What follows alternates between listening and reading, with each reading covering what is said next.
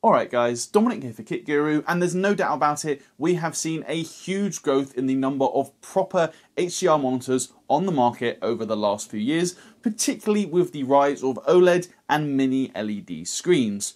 Such monitors are usually very, very good, but typically come at a massive cost. We're talking close to a thousand pounds, if not more, so they've not exactly been ready for the mass market. Cooler Master is hoping to change that, however, with the GP2711, and this is a mini LED monitor with 576 dimming zones on offer for £380 here in the UK. It sounds very interesting on paper, so today we're going to find out exactly how good this monitor is.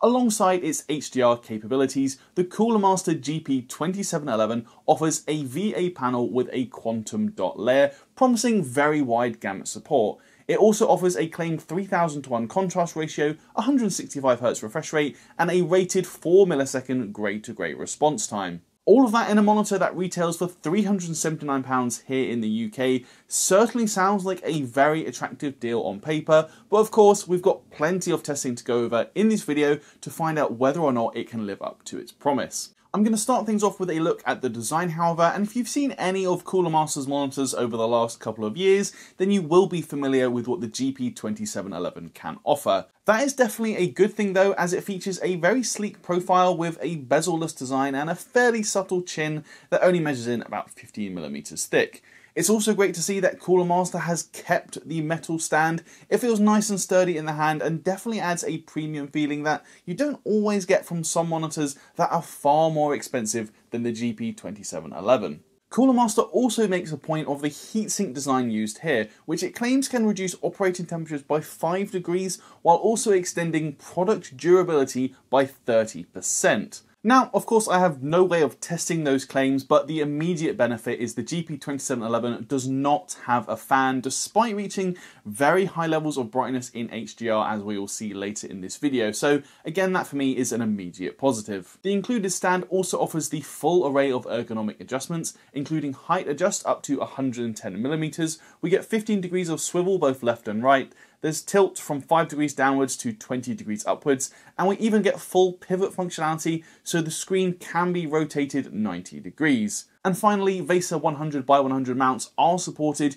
if you want to attach a third-party bracket or monitor arm. Ports and connectivity are also reasonable with one DisplayPort 1.4 and two HDMI 2.0. We also find a Type-C port that supports DP alt mode as well as 15 watts power delivery.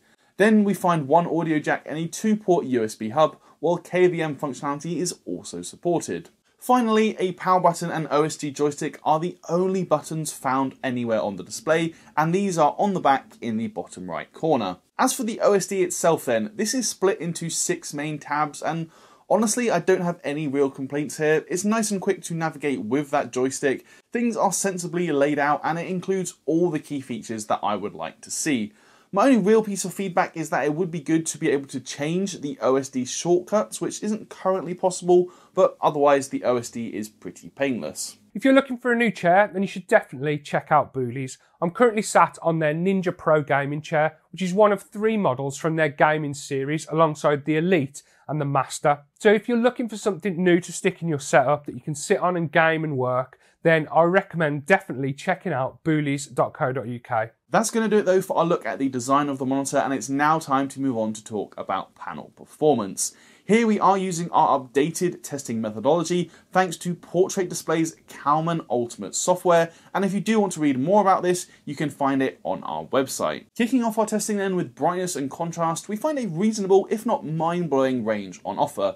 Full screen white luminance drops as low as 51 nits and goes as high as 308 nits, though that is some way short of Cooler Master's claimed 600 nit brightness in SDR, but more on that in just a minute. The good news is that black levels are nice and low as we would hope from a VA panel, resulting in contrast around the 4200 to 1 mark, which is better than even what Cooler Master claims. Now, just then, I did mention that out of the box, this monitor falls well short of Cooler Master's claimed 600 nits brightness for the GP2711, and as it turns out, there's actually a setting in the OSD called Max Brightness, and enabling this unlocks higher levels of screen brightness. Why isn't this enabled by default, you ask? region specific energy efficiency regulations according to Cooler Master, as of course higher brightness equals higher power draw. Still, with the max brightness mode enabled, we saw a peak of 598.7 nits, so pretty much 600 nits as per Cooler Master's claims.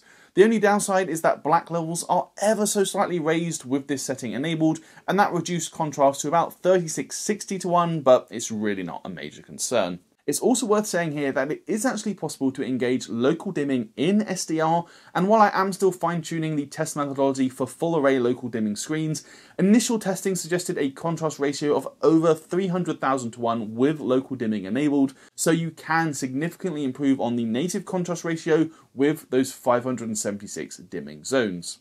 Moving on though, given the GP2711 does feature a quantum dot layer, we naturally find a very wide colour gamut on offer, far exceeding the sRGB space and delivering 97% DCI-P3 and 95.3% Adobe RGB coverage. Rec 2020 reporting is also healthy with 74.9% of that colour space, not bad at all for a £380 monitor. As for grayscale testing, out of the box the GP2711 delivers reasonable results, but it does have a noticeably warm tint with an average correlated colour temperature of 6079K. Still, a grayscale average delta E of 2.84 is decent, as is gamma tracking, averaging 2.244.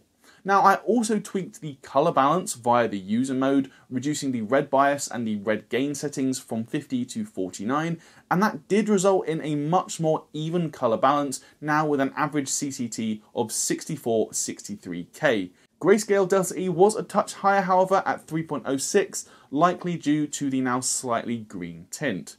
As expected though, given the very wide colour gamut on offer, we do see a fair amount of oversaturation relative to the sRGB colour space. Relative to DCI P3 however, saturation is improved to an average delta E of 2.22, which is acceptable but perhaps not mind-blowingly good. Of course, that oversaturation does lead to relatively poor colour accuracy when targeting the sRGB space, with an average delta E of 4.76. Thankfully, there is an sRGB emulation mode which we test in a minute, but we also test color accuracy relative to the DCI P3 space, and again this is improved with an average delta E of 2.81, though that's still not amazing out of the box. Speaking of the sRGB emulation mode, however, with the GP2711, this does a decent job, effectively clamping the colour space to expected levels, particularly reducing the red, green and cyan channels, where we saw high levels of saturation out of the box. Grayscale is unchanged, however, with the red tint remaining.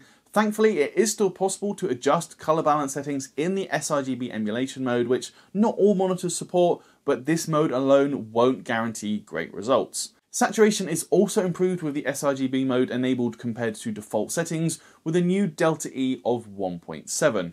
Color accuracy also sees improvements to good levels, this time with a new average delta E of 1.93. The white and lighter grey shades are still not overly accurate however due to the reddish colour balance, but overall Cooler Master has done a decent job with this sRGB emulation mode. Of course, for the best results, a full calibration is required, which we achieved using Calman's Ultimate software. This delivered near perfect grayscale and gamma tracking, while the saturation and overall colour accuracy, average delta E's dropped to very impressive numbers. The final area I want to look at then is going to be viewing angles, which are okay, but there is a definite loss of saturation when viewed from a side angle, but considering this is only a 27 inch display, it's not a huge concern. Moving on now then to response times. Here we're using the open source response time tool as developed by Tech Team GB and we're testing all five of the overdrive modes found within the OSD for the GP2711 at the native 165Hz refresh rate. Starting with native panel performance then with overdrive turned off, we see very slow response times across the board with an average response time of 14.25 milliseconds. Engaging the normal overdrive mode speeds things up to 10.83 milliseconds on average, but that is still a very slow response time particularly in the rise times from dark shades as evident on the top row, which is unfortunately all too common with VA panels.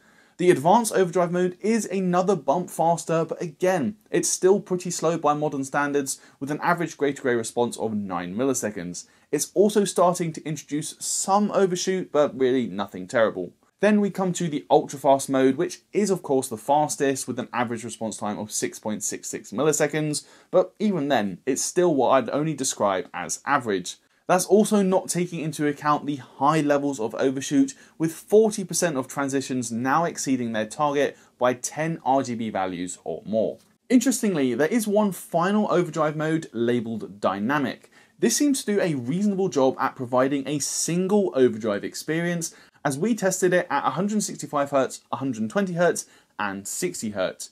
It's by no means perfect as the response times from the GP2711 are not great with any overdrive setting, but it does strike an acceptable balance across the refresh range. However, the snag is that the dynamic overdrive mode is only available when adaptive sync is disabled. It is simply grayed out when adaptive sync is enabled, and that is a real shame. Most people will want to game with adaptive sync enabled, and in doing so, you lose the option of having a single overdrive mode.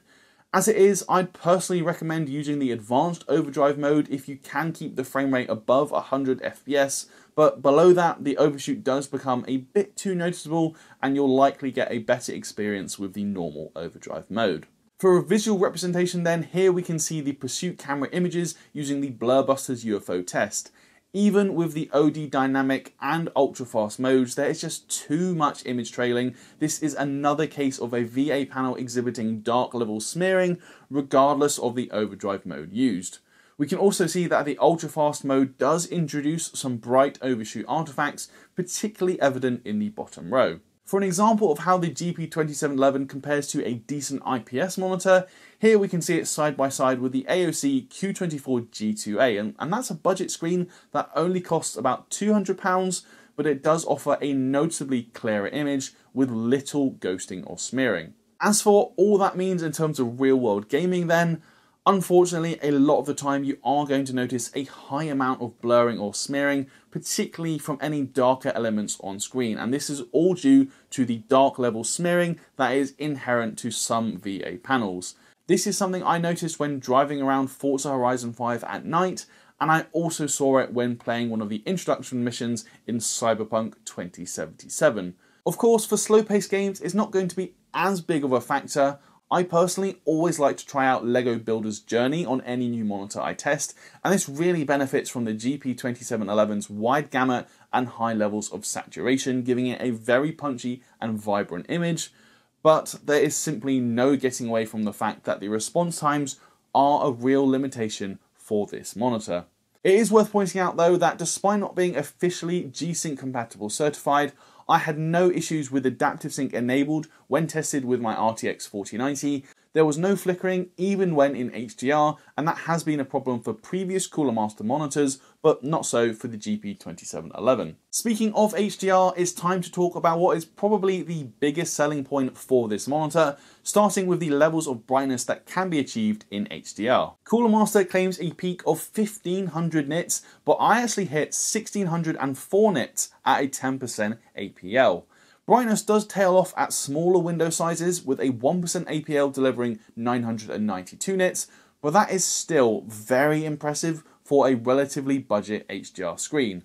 Full screen brightness is also a rather eye-searing 1145 nits, which is one area where we see a clear advantage to mini LED versus OLED, considering OLEDs can't typically sustain full screen brightness above 250 nits. As for grayscale, you may have seen some previous reviews of the GP2711 that demonstrated very dark EOTF tracking, but with the latest firmware, which is version 1.05, I am pleased to say that this is now fixed and the EOTF tracking is generally accurate, being just a touch too bright for the lower midtones. We do still see a warm tint overall, particularly when looking at the brighter shades, but a user color balance is still an option when HDR enabled, which is great to see. Overall color accuracy is reasonable in HDR2.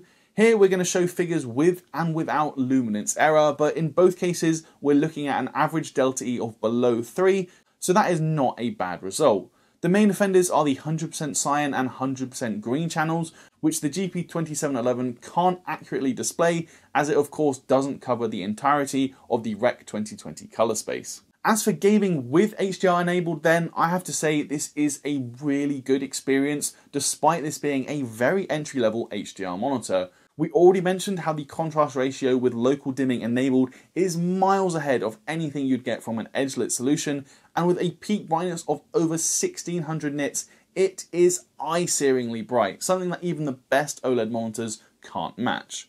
Of course, 576 dimming zones isn't a ton, so you may notice just some haloing or blooming, particularly around bright highlights in darker overall scenes, but this really can't be helped. You'd need per pixel dimming like from an OLED to avoid this completely. Even then though, I still have to say the experience overall is very, very good, especially for the price, which only makes me more disappointed that the response times are so slow. Wrapping up this review then, it has been a very interesting couple of weeks testing the Cooler Master GP2711 and I have to say this monitor has given me real hope that we are not far off from getting an all-round gaming monitor with proper HDR functionality at an affordable price. Unfortunately, I don't think we are quite there yet, at least not when talking about the GP2711 specifically. As good as the HDR is with its 576 dimming zones at a price of just £380 here in the UK, it is simply let down for gaming by its poor response times. The VA panel used is just too slow by modern standards, with noticeable dark level smearing even when using an aggressive overdrive mode, and that just results in very disappointing overall levels of motion clarity. I really do find this to be a real shame as otherwise Cooler Master has done a very good job with the GP2711. It gets impressively bright, contrast ratio from the VA panel is impressive, factory calibration is also decent and I really like the overall design. As it is though, I can only see this monitor appealing to a very small niche of people who are happy to live with the poor motion clarity in exchange for the HDR performance. For the vast majority of people though, I really do think that the poor response times and just notable amounts of smearing will be enough of a deal breaker to rule out a purchase of the GP2711 and I have to say I couldn't blame you at all if that was the case.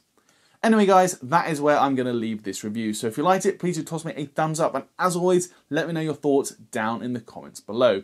If you haven't already, please subscribe and ding that notification bell so you don't miss when we upload a new video. And if you want to carry on the conversation, you can find an invite link to our Discord server in the description. While you're there, you'll also find a link to our merch store where you can consider helping us out by buying one of our new tees. And finally, if you're feeling particularly generous, you can also consider backing us on Patreon. That's it for this one though guys, I'm Dominic for KitGuru and I'll see you in the next video.